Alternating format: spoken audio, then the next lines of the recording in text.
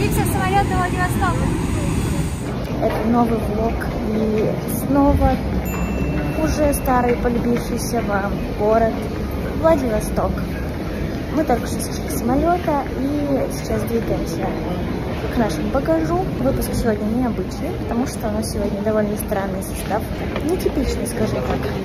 Но, возможно, уже привычный для вас. Так что сейчас будем искать багаж и воссоединяться. Power Ranger.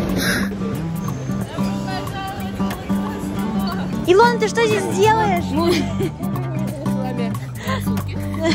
Я поэтому прилетела в Владивосток, чтобы...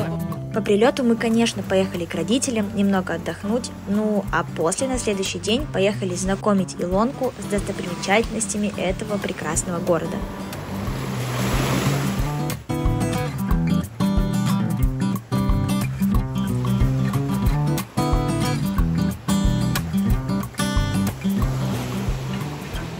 Шла вот, чтобы дотронуться до камня. Как красиво вообще. Извините, ничего другого по поводу Владивостока я сказать не могу. Только то, как тут хорошо и спокойно. Вот, а еще меня очень сильно нравится и притягивают э, коряги, которые здесь повсюду валяются. Я вам сейчас покажу. Например, вот такая вот шикарная коряга. Смотрите. Или вот такая. Высушенная, высоленная морем. Как вот это. Вот вам коряга нравится? Ну просто идеальный торшер. Как-то можно увезти это отсюда? Сдек. Сдек возит палки с одного места на другое. Но моя любовь это вот эта коряга. Это королева всех коряг на этом берегу.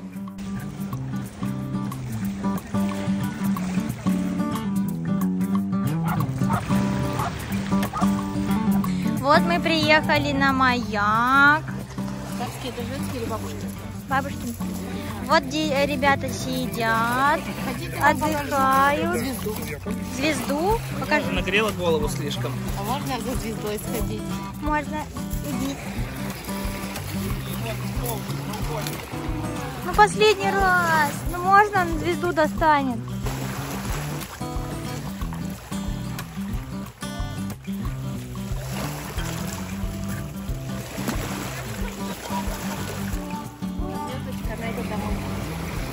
Пока, звездочка.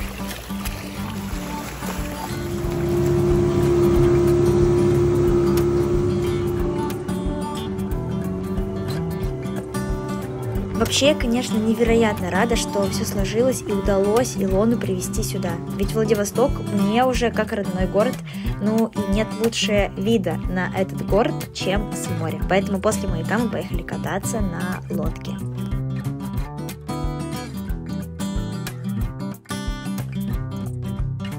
Вот так сегодня прошел наш первый день. Мы сегодня первый день в Владивостоке привезли Илонку э, в гости в место, куда мы постоянно ездим. Вы уже миллион раз видели всякие другие такие ложки. Вот, мы сегодня очень поздно встали, поэтому мы успели съездить только на маяк. А, а сейчас катаемся на этой прекрасной э, лодке. Вот. Завтра мы выдвигаемся на Витязь, а пока что вот смотрите, какой красивый Владивосток. В этом городе никогда не угадаешь с погодой, но бывают, случаются такие суперские дни, когда ну никак нельзя упускать возможность, и поэтому мы так быстро собрались, немного передвинули наши планы и решили выходить в море именно в тот самый день. И мне кажется, не прогадали. Вы просто посмотрите на этот закат. В общем,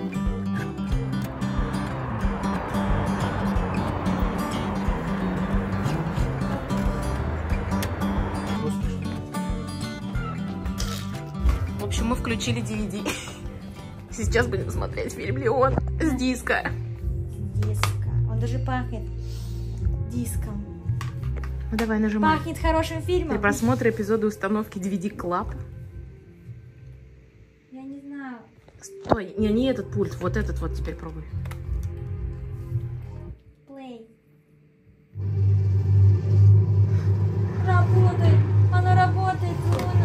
Все, приятного нам просмотра. просмотра. Найди три отличия. Мне нужна шапочка красная. Можно мне шапочку красную? Когда кадр будет с красной шапочкой, можно? Можно.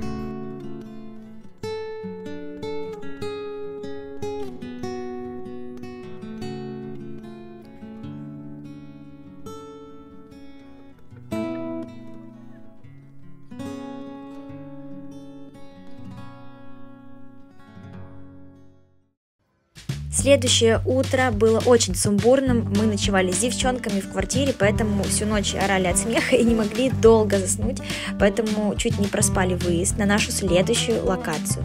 И, увеличив нашу компанию в несколько раз, отправились на Витязь, ежегодное путешествие. Я за эту поездку научилась пользоваться приложением кафе кофемашину, теперь я вообще продвинутый э, юзер, э, пользователь приморских автокафе. Нас пробило колесо.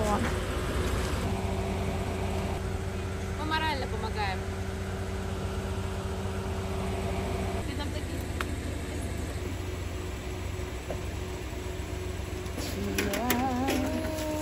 Еще новое колесо, теперь точнее старое упаковано, новое вставлено. Мы поедем дальше сейчас.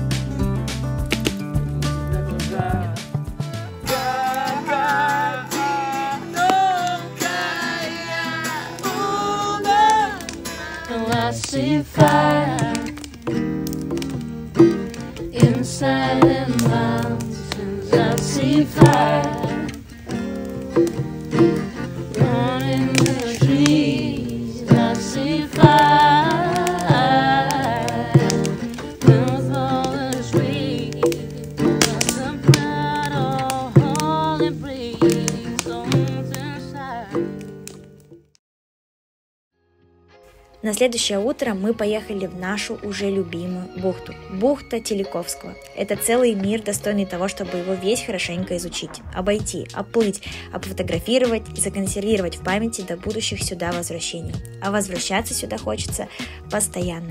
Вот и мы привезли сюда Илонку и, кстати, нашего друга Сашу Половцева, который ни разу тут не был, хоть из Приморья. Конечно же, первым делом забираемся на одну из верхних точек полуострова Гамова, чтобы осмотреть, как прекрасен вид на бескрайнее море, а потом спускаемся вниз в бухту, ползя сквозь кусты шиповника и могильные сосны. Вообще добираться до этого места целое приключение, которое порой сулит поломкой машины, так что учитывайте это, если вдруг вы думаете, что сюда можно так просто добраться.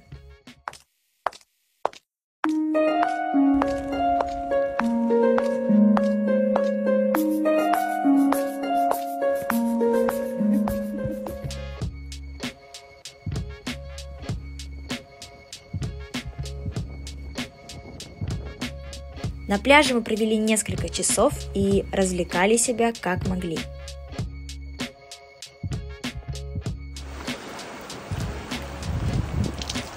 А, и кстати, это наши новые футболки и мерч, который я специально привезла сюда, чтобы отфотографировать и снять классный контент. В нашем свободном магазине вы уже можете найти э, все эти лоты, футболки, худи и шоперы. Купите, пожалуйста. Очень удобная фигня. Туда можно положить ноутбук, одежду, тапочки, еду, камни, в конце концов, морские. Э,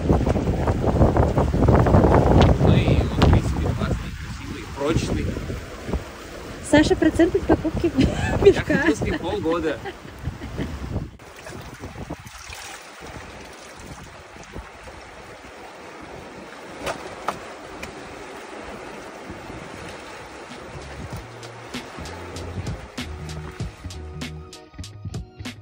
Это еж. Его едят. Его мы сейчас будем расчленять на... Вот здесь, здесь большой э, стол жертвоприношения, у меня маленький собственный столик. Вы можете приближаться ко мне, дорогие зрители. Уберите детей от экрана. Сейчас будет и я покорябала себе руки. Но мы дорылись до истины, которую можно съесть. Приятно, правда? Это был рот. Вот это рот. Это был рот мы выкинули. Это рот. Вот что осталось у нас, вот это вот прекрасная черная жижа, которой мы должны избавиться, а вот это мы можем съесть. Сейчас я продемонстрирую вам, как я это съем, а потом пойду в туалет. Вот такой вот delicious. В общем, это было очень хорошо, но нам пора собираться и ехать обратно в наш домик.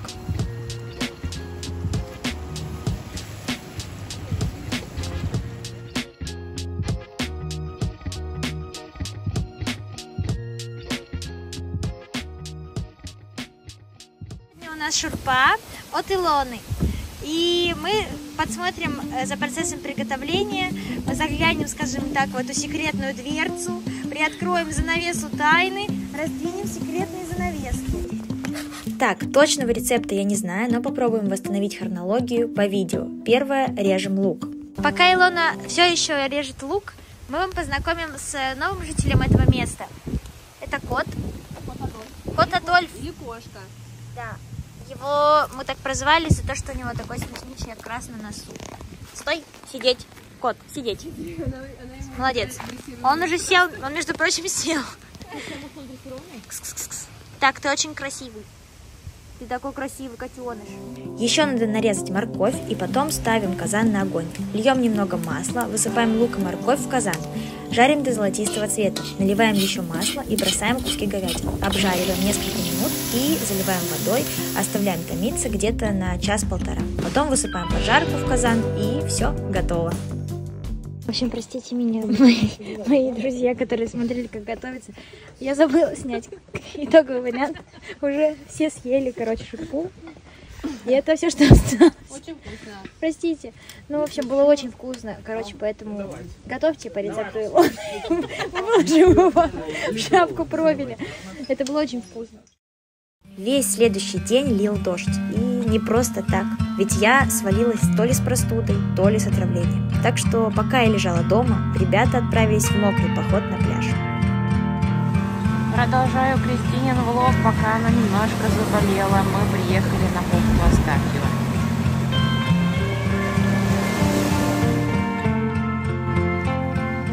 Бухта Астафьева – одно из самых запоминающихся мест полуострова Гамбург. Каждый раз, как я там оказывалась, погода встречала суровостью, там дули очень сильные ветра с моря.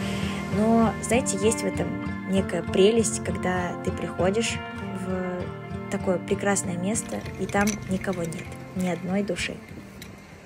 В общем, сегодня мы на бухте, бухте Астафьева. Здесь очень-очень красивый пляж. И выглядит, если честно говоря, немножечко как из фильма «Сумерки». Уж, детка.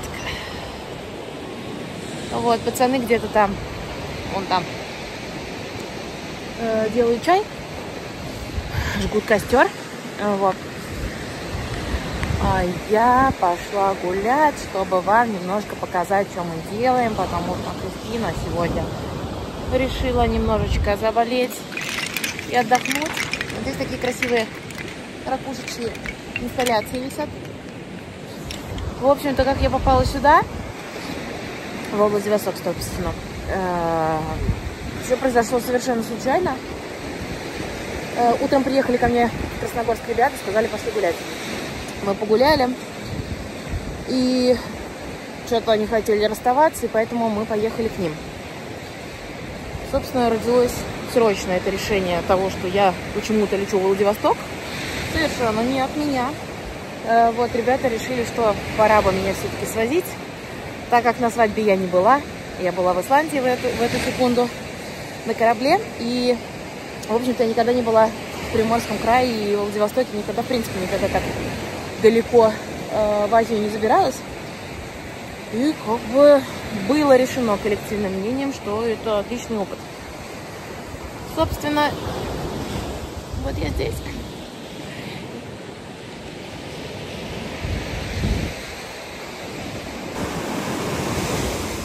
Люди купаются. Я в курточке, еще в одной курточке, термобельишке, на ногах штанишки, а под штанишками другие штанишки. Поэтому я искренне не понимаю, как они тут могут купаться. Вот наша честная компания. Какие вот они маленькие, какой костер. Чай, наверное. Я тоже пошла.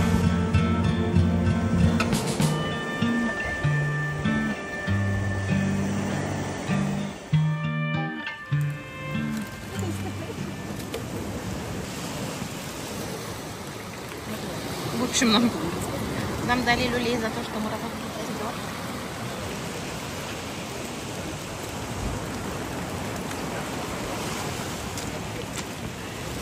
Пиздов наваляли. Заливай, заливай. Заругали дяденьки за костер. В общем, нам пришлось выплатить небольшой штраф и получить люлей и затушить костер. Потому что, оказывается, нельзя разжигать костры в заповедной зоне, поэтому, ребята, будьте осторожны и ни в коем случае не жгите костры.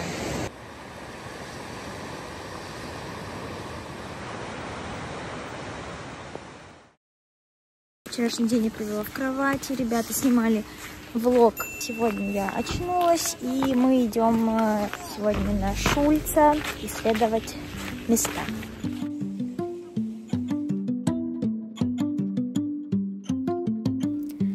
Мыс Шульца – это одна из границ бухты Витязь. Примечателен он тем, что здесь находится морская экспериментальная станция Мыс Шульца, Тихоокеанский океанологический институт. Территория, кстати, закрыта для проезда, но вроде как пройти, погулять, не нарушая запретов этих территорий, можно. Мыс сам по себе очень красив, вода здесь теплее, чем в бухте Астафьева, и если на Витязи или на Астафьево пасмурно и туман, то тут всегда солнце. Очень переживали из-за большого количества змей, э, их в этих краях очень много, но вроде все кусты прошли без приключений. В общем, нам нужно спуститься куда-то туда. С вертолета. Почти так.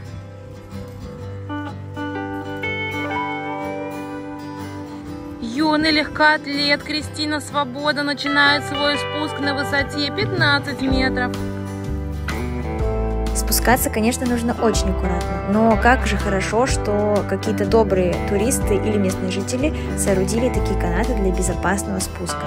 Э, Тут располагается очень классная, красивая, скрытая бухта, так что можно спокойно тут покупаться и посмаковать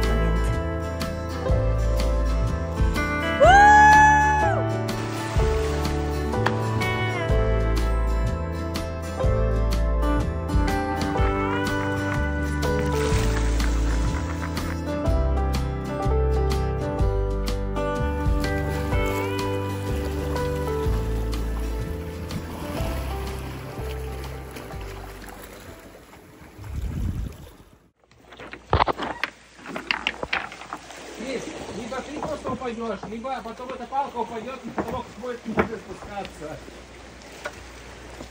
Ты спрячь ее здесь. В следующем году достанешь. Уже придешь со спецтехникой. Короче, это палка с острова Ш... Остров. Ш- Нет, это не остров. Мыс. Мыс Шульца. И ее подняли вот с пляжа, на котором мы только что были. Великолепно. Вот это Рэмбо. И теперь эта палка поедет с нами. Эта палка будет со мной навсегда. Это мы кладем в ручную кладь и летим в Москву. Прикиньте, как хорошо, что мы как бы на машине в итоге поехали.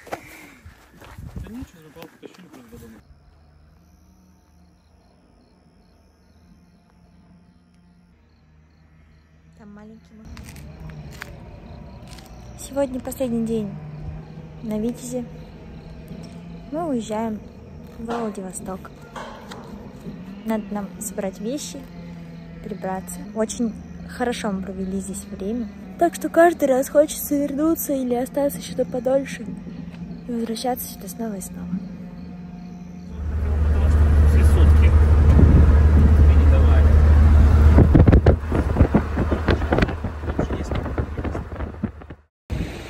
Мы вернулись в Владивосток, и сегодня у нас последний день. Мы поехали э, на мыс Табизина. Как вы помните, там мы с Катей последний раз снимали вложек э, здоровский и челлендж.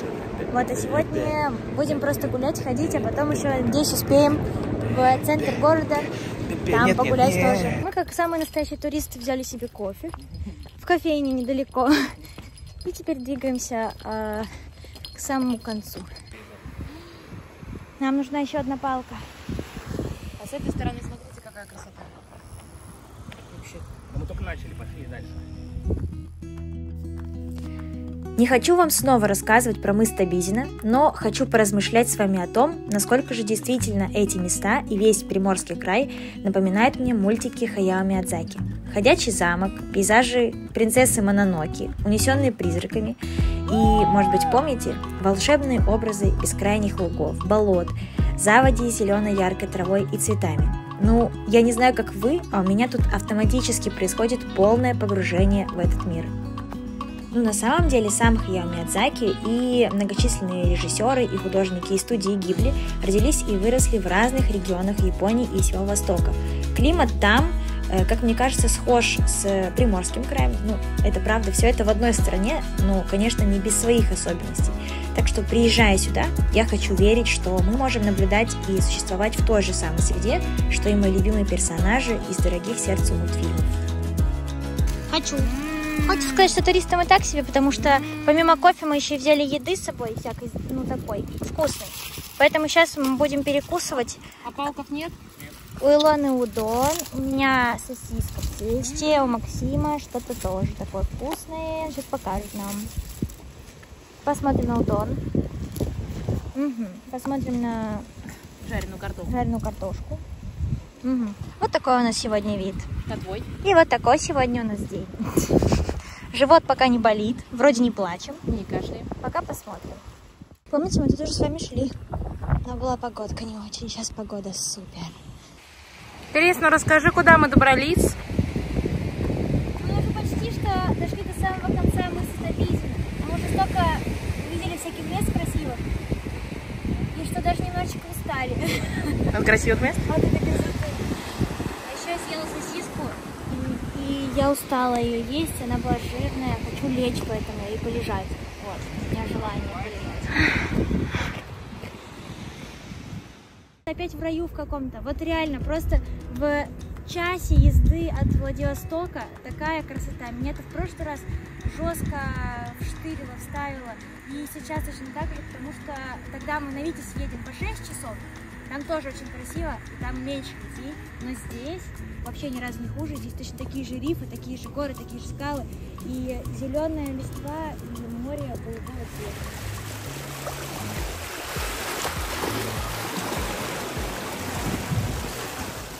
Конец этого путешествия. поменять бы мне билетик до 28 реально, было бы неплохо. Мы были на краю России, на материковом краю России. Были Мяу. мы. А дальше Япония. С другой стороны, что мне тут делать?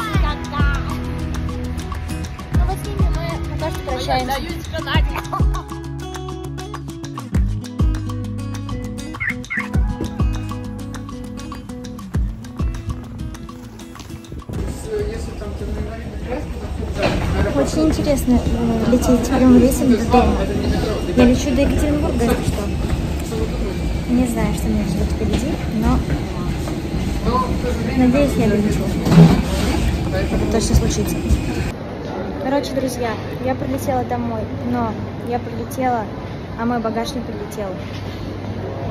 Это просто трендец. Э, Уральские авиалинии, вы как всегда говно. Нечего сказать. Доброе утро. Я уже съездила в отель, переночевала, и сейчас я возвращаюсь обратно в аэропорт за своими вещами, потому что мне пришла ночью смс потому что мой багаж прибыл. Вот, поэтому я бегу, бегу собирать свой багаж. Вот он, мой путешественник, прилетел наконец-то. Да, осталось еще вскрыть и посмотреть, не умерло ли там что-нибудь внутри. А это вполне возможно.